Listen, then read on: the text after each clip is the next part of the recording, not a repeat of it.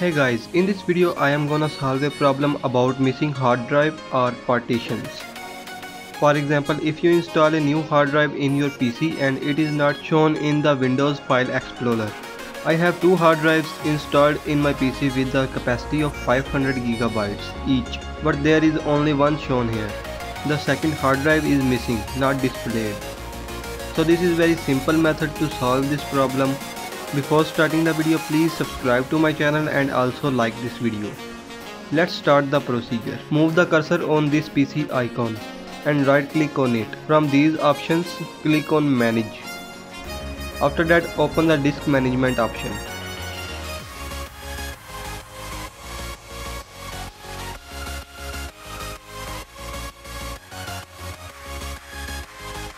Here it show all the storage devices connected with my PC. This is my first drive with the capacity of 500 gigabytes.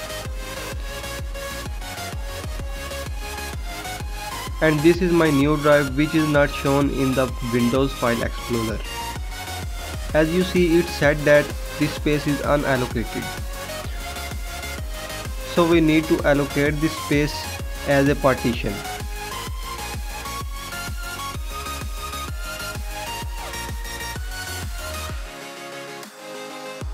To do that right click on it and select new simple volume. Press next. Put the size how much size you want in your partition if you wanna create more than one partition.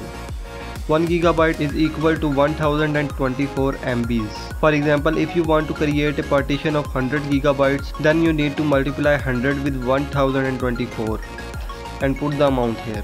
If you want only one partition, then press next button without any changing. I want only one so in this section assign the drive letter what you wanna set and press next button.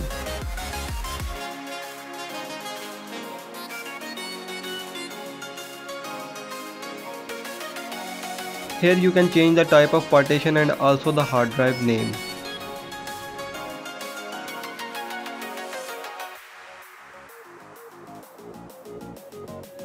Press next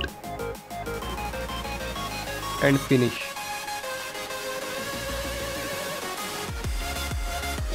Okay your hard drive is allocated now.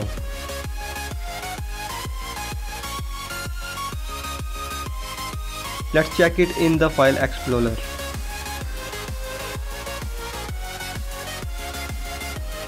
So as we saw it is done successfully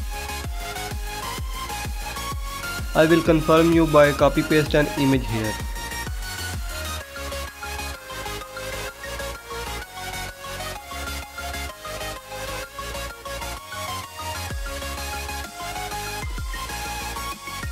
See it worked perfectly.